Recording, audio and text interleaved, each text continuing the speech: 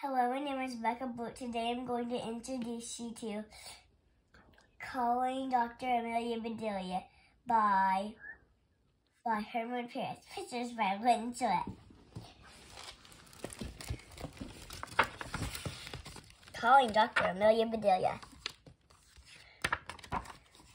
It was a hot day in August. Mr. Rogers was even hotter. Amelia Bedelia, yelled Mr. Rogers, what are you doing? What's wrong? said Bedelia. You said it was hot enough to stop, said Mr. Rogers. I said it was hot enough to fry an egg on the sidewalk, not on my car. Well, said Amelia Bedelia, you should be glad. I would never fry your eggs on a dirty old sidewalk. Forget about eggs, said Mr. Rogers. You will be late for your appointment with Dr. Horton. Jump in the car. Yes, sir, said Amelia Bedelia. She bounced up and down on her seat. Sit still, said Mr. Rogers. Good, said Amelia Bedelia. It wasn't easy to jump in your car. Mr. Rogers shook his head. What kind of doctor is Dr. Horton? he asked. The best kind, said Amelia Bedelia. She is a very good doctor. Of course, said Mr. Rogers. I mean, who does Dr. Horton treat? Everyone, said Amelia and she treats good boys and girls to ice cream. They arrived at Dr. Horton's office. Mr. Rogers took out a bottle. What are those pills? said asked. They are for a headache, said Mr. Rogers. Why do you want a headache? said Amelia. I have a headache now, said Mr. Rogers. Then why do you want another one? said Amelia. I don't, said Mr. Rogers. In fact, I'm getting rid of my biggest headache. Goodbye. Goodbye, said Amelia. Thanks for the ride, and I hope you feel better. Thank you, said Mr. Rogers. Call me when you are done. Amelia Bedelia opened the door to Dr. Horton's office. It was a lot noisier than usual. Amelia Bedelia, said Nurse Ames, you are a sight for sore eyes. How terrible, said Amelia Bedelia. I am sorry that your eyes hurt. My eyes are fine, said Nurse Ames, but I am up to my eyeballs in patients. Dr. Horton had to visit the hospital. Would you give me a hand until she gets back? No, Amelia, both my, both my hands are attached to me, but I would be glad to help you. Right then, the telephone rang. Hello, this is Dr. Horton's office. This is Mrs. Bender, said the said a woman. I am calling because I've got hives. That's great, said. I, I'll bet you have honey. Don't call me honey, said Mrs. Be said Mrs. Bender. Do you know what it means to have hives? I sure do. Honey, said Bedelia. Stop calling me honey, said Mrs. Bender. I am coming down to see Dr. Horton right now. Good, said Amelia Bedelia. Please, please bring us some honey. Mrs. Bender hung up on her. Guess what, said Amelia Bedelia. Miss Bender, Mrs. Bender is coming to see us. Oh my, said Nurse Ames. Miss Bender is a pain in the neck, but her heart is in the right place. Wow, said Amelia Bedelia. It would be it would be terrible if her heart were down in her foot. This is April, said Nurse Ames. She is a little scared. Will you will you take her temperature? I will try, said Emily Give it a shot, said Nurse Ames. A shot, wailed April. Don't worry, said Nurse Ames. It's just a thermometer. Emily will you tell me the temperature, temperature in three minutes? I don't have a watch, said Emily. Look out the window, said Nurse Ames. The bank across the street has a big clock. Ring! Amelia Bedelia was busier than ever. She answered call after call. I hear a ringing in my ears. A ringing? Maybe you should answer the doorbell. My nose hurts on the bridge. Well, get off that bridge. I got caught some kind of bug. I hope you let it go. Bugs can bite. Oh, Amelia Bedelia, said Nurse Ames. Don't forget about the temperature. Amelia Bedelia ran to the window. It says 98 degrees.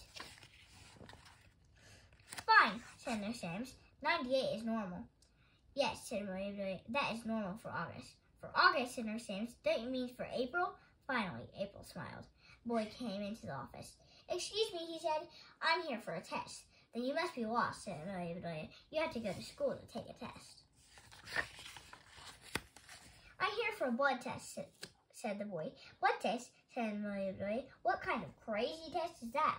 True or false? I wish it were, said the boy. Well, said Bedelia, let's give it a try. True or false? Do you have blood? True, he said. Of course I have blood. Then you pass, said Amelia. What if I didn't have blood, said the boy.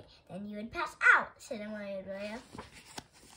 Hi, Andy, said Nurse Ames. We need to draw your blood. Amelia Bedelia, please take Andy to the examination room. Look at all this blank paper, said Amelia.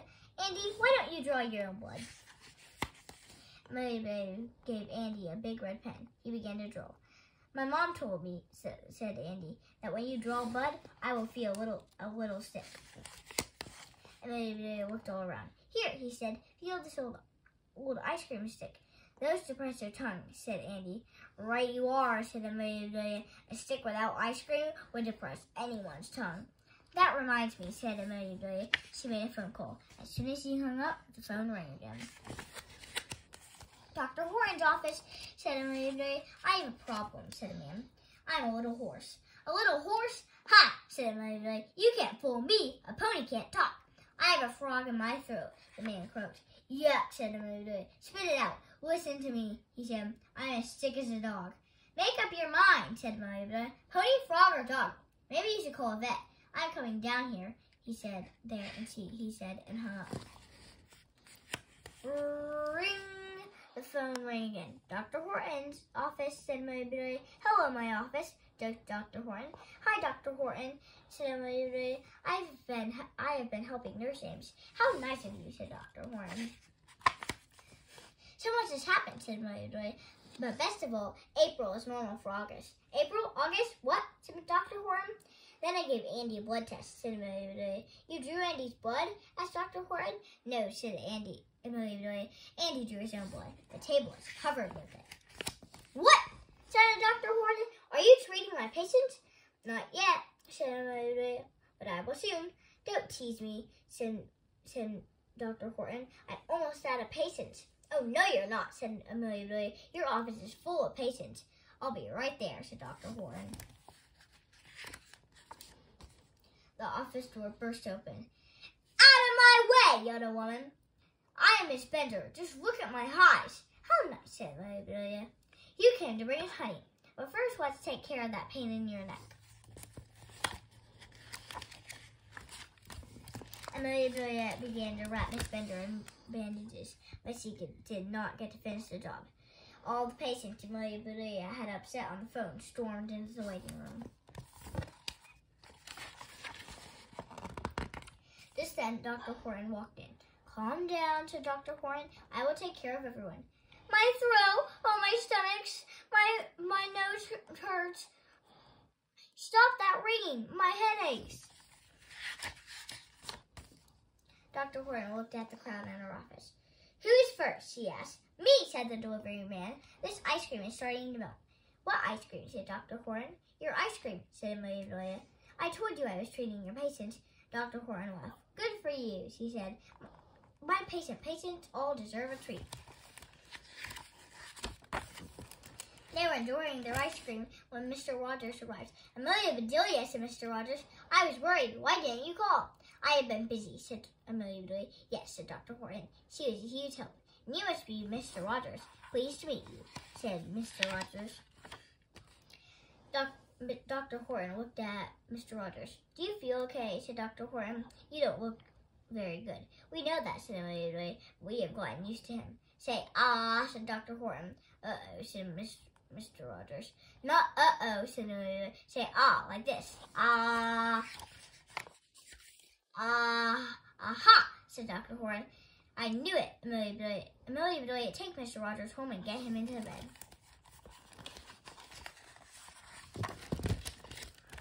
I strong, strong as an ox, said Mr. Rogers. Yes, dear, said, Mrs. Rogers, and as stubborn as a mule with chicken pox. Speaking of chicken, said Bedelia, here's some homemade chicken soup. Yum, said Mr. Rogers. This hits the spot. Which spot? said Emily. That big spot on your cheek, or that little spot on your chin, or maybe that teeny tiny spot on enough, said Mr. Rogers. Okay, said Emily I will go and wash those eggs off your car. Good idea, said Mr. Rogers. Put some wax on it, too. Sure thing, said Amelia. Amelia got a pail and some water, and she did not forget the wax.